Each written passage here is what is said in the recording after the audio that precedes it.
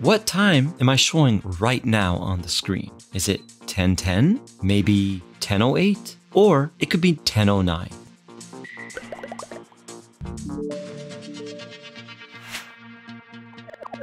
What's better than one watch?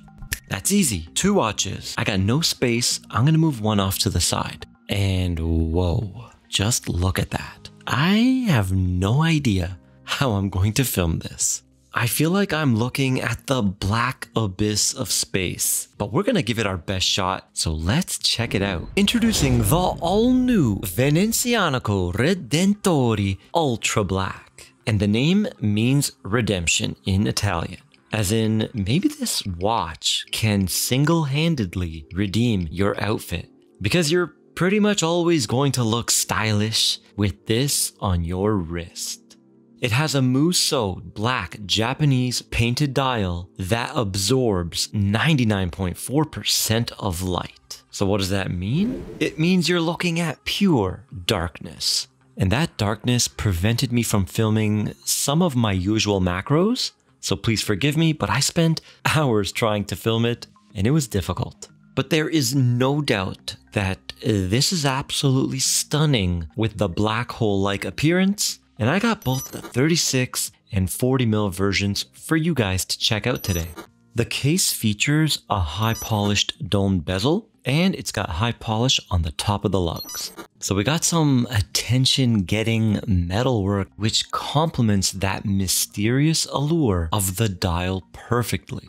But the sides take a different approach. They are subdued and completely brushed, while well proportioned crown guards ensure the protection of that push pull crown. The 36mm has 50 meters of water resistance, while the 40 has 100 meters. And those numbers make a lot more sense when we inspect that case back. The 36mm model sports a snap-on case back while the 40mm version has a screw-on case back. So that's going to be stronger and more resistant. But in terms of design, both casebacks showcase a captivating engraving portraying a satellite hovering above the Earth. Now let's do those dimensions. I got 36 millimeters in diameter with a secret measurement of 31 millimeters.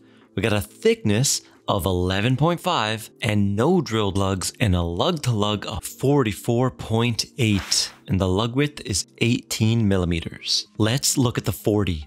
I got 40 millimeters in diameter, secret measurement 34.5 millimeters and a thickness of 12.4 and a lug to lug of 48 even. The lug width is 20 millimeters. As someone who loves small watches, I really appreciate the 36mm option, but I know most people will go for the 40. Which one are you leaning towards? Now, both watches come equipped with the same Midnight Royal Black Italian leather. This strap measures 3 millimeters in thickness near the lugs and gradually tapers down, providing a sleek profile. The strap is too stiff for my tastes, but I'm pretty sure it will break in nicely. It has two keepers, one stationary, one movable, and a fantastic high polish buckle.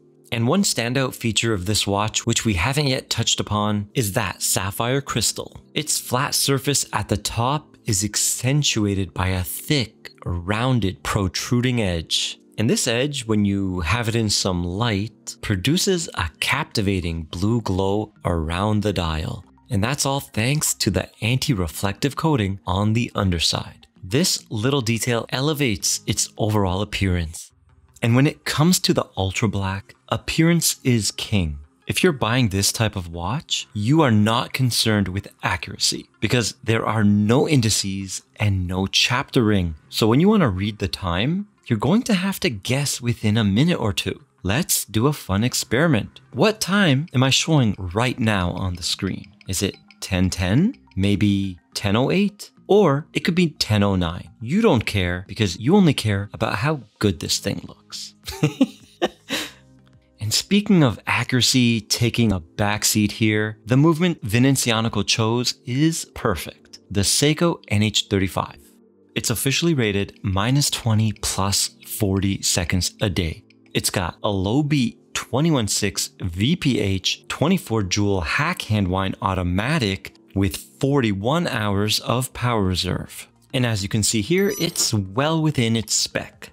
And the NH35 does have some other advantages. It keeps the cost down while being cheap to replace or service.